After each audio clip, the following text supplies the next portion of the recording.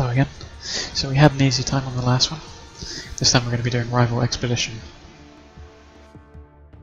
I don't, again, I don't really remember what this counter is, so I'm just going to play the Hunter Strength deck because it's kind of solid.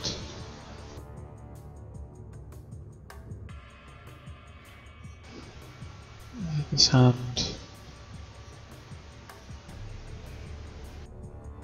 sounds okay. It's a bit short on land. And this is much better. It's got three land, three mana creature to play, three mana staff, and Nature's Lore, which is uh, a really good ramp card. You can pull out forest from your library and put it onto the battlefield, and shuffle your library. We have a late game creature, 7 mana, uh, if we get that far, if we need it. Looks like he's going to play Hada Freeblade a soldier ally. So he gets counters as other allies into the battlefield. And ally is just a specific type of uh, creature. And so he gets one already for just himself entering the battlefield. So for now, I have no 4 mana creatures, so it wouldn't make sense to use this ramp yet.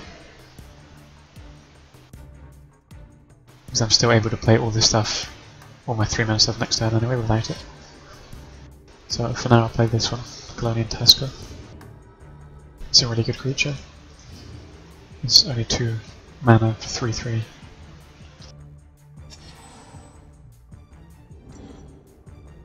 So he's not going to be able to attack.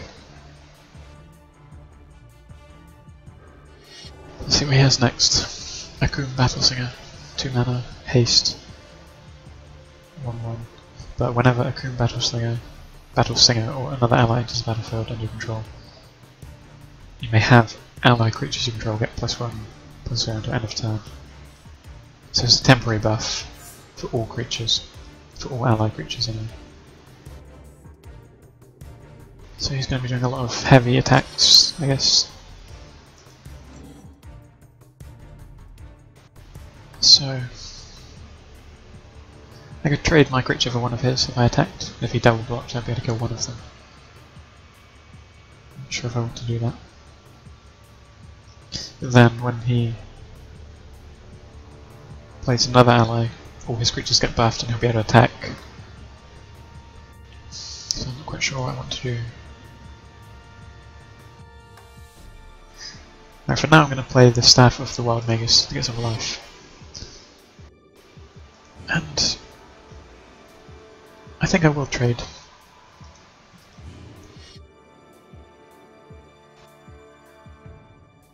Yeah, he's not going to block. I'd have been quite happy to kill off his Hada Freeblade because it's buffing all his creatures.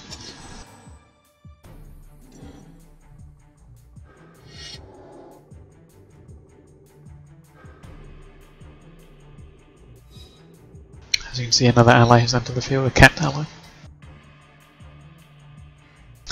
And all this stuff gets a buff. No, sorry, not all this stuff, just Hada Freeblade gets the buff. So he's going to do 6 damage. So this is where the staff is going to be quite important. I'm taking a lot of damage, so I need to heal up.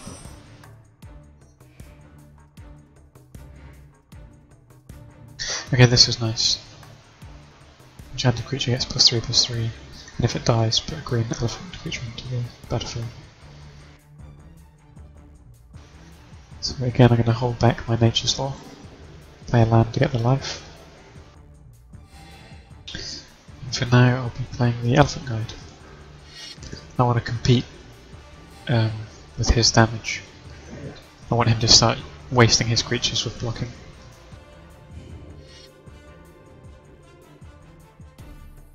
He, at the moment he does have more damage than me. But I do have life gain. So at some point he's going to need to start blocking. And none of his creatures are going to be able to stand up to my one really. At least not yet.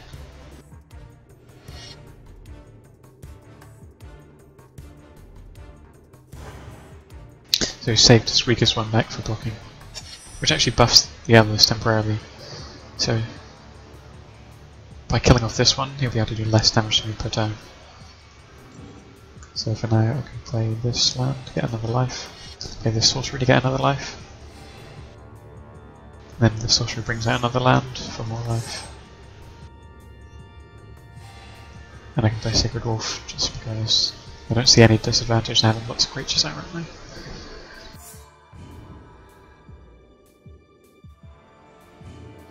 I don't think I will block with it or attack with it.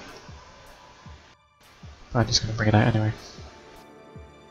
Maybe if he taps all his creatures, I'll attack with it.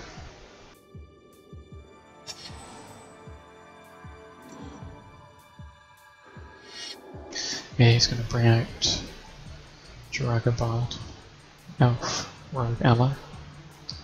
It's a 1 4 creature, but whenever this card or another ally enters the battlefield and you control, you may have ally creatures you control gain vigilance of So that's that'd be quite good for this situation. To have vigilance.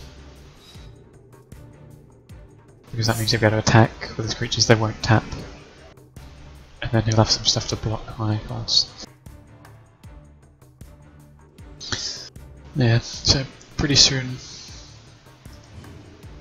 I'm going to be able to get out this card if I draw land. Then I should win. Okay, no land, but another Kalonian Tusker.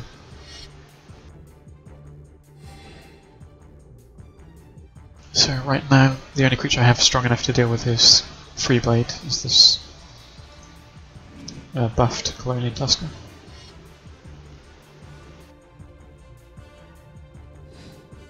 He's actually in a block with his Stonework Puma. That's kind of fine with me.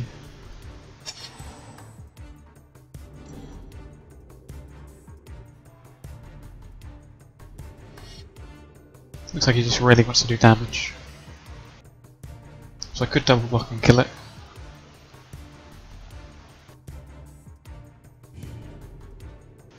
But I won't. I'd rather do the full attack next time. Have another standard creature here, can't block but can attack. We can block flying also with oh, it.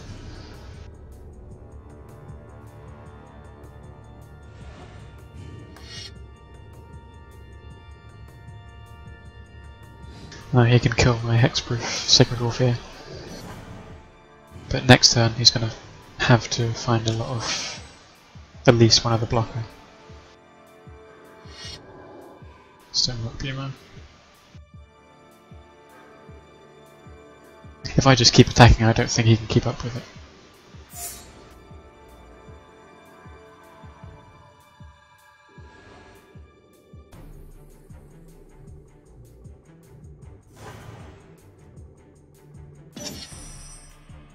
Okay, I have a spider here.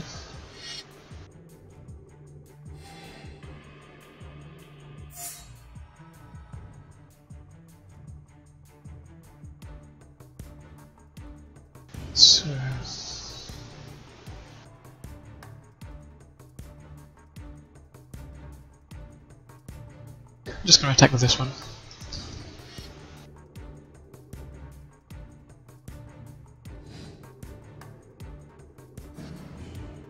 So I have blockers now if he wants to attack next turn, because I'm, I'm getting low life as well, 4. We have 4. He's going to skip his attacking. And I can play my Garruk's Horde.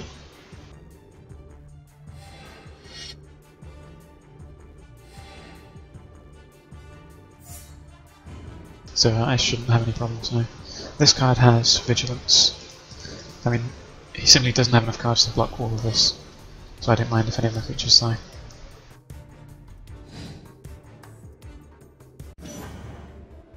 So it seems like you can just beat this encounter with lots of creatures. Them look to prey upon. And in the next episode we'll be playing uh, against Survive the Royal Encounter, so be sure to watch that.